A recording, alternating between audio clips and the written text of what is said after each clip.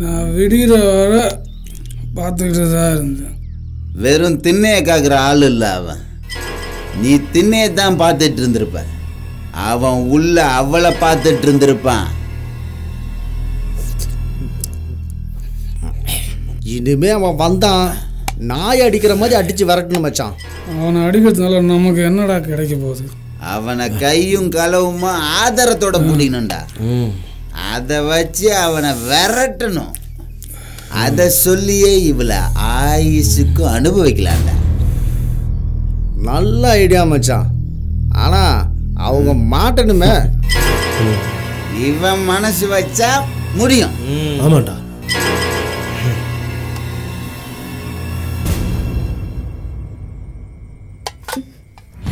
அதான். பாத்திரத்தை கழுவி வச்சுட்டு வந்துடுறேன். சீக்கிரம் வேலையை முடிச்சிட்டு வாராதா? ரொம்ப அவசரம் போல இருக்கு.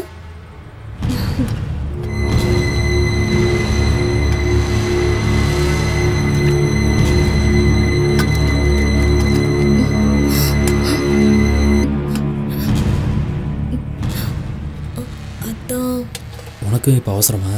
தண்ணி பானை பக்கம் பாருங்க தான்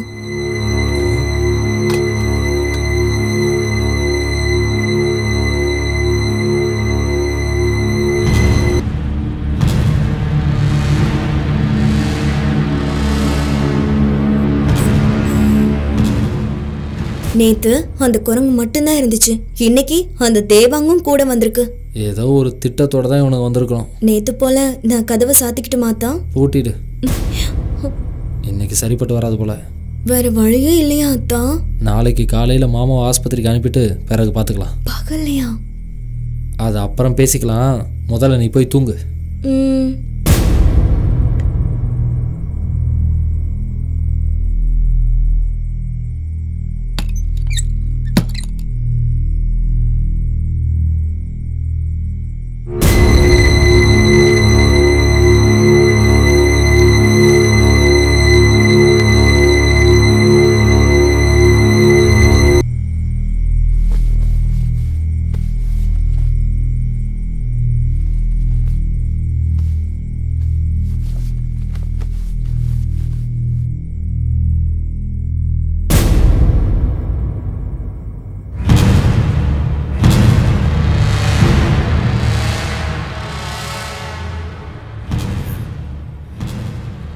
மணி நாலாயிடுச்சு. ஏய் ஏய் மணி நாலாச்சு இன்னும் அவன் தூங்கிக்கிட்டே இருக்கான். அவன் உள்ள போல. நீ போய் தூங்கு. நான் போறேன். எந்திரு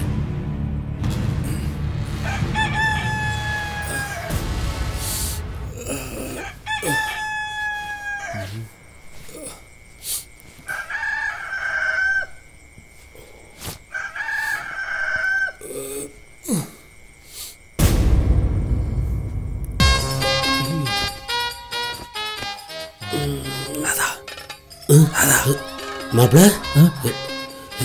எதுக்கு இப்போ ராதாவை எழுப்புற? இல்லை மாமா விடிய போதில்ல. காலையில் எந்திரிச்சு சமைச்சாதானே ஹாஸ்பிட்டலுக்கு சாப்பாடு கொண்டு போக முடியும். ஆமாம் ஆமாம் ஆஸ்பத்திரிக்கு போகணும்ல. நீங்கள் வேணால் போய் டீ குடிச்சிட்டு வாங்க மாமா. டீ குடிக்க போனோம்னா கையில் காசு வேணும்ல மாப்பிள? இந்தா மாமா போய் டீ குடிங்க. ம்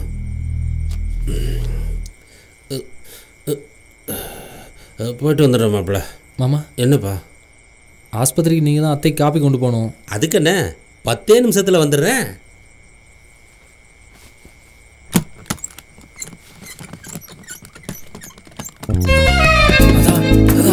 மாமா கடைக்கு போயிட்டாரு.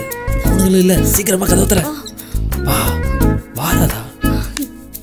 யாரும் இல்லை இதான் சரியான நேரம். வா.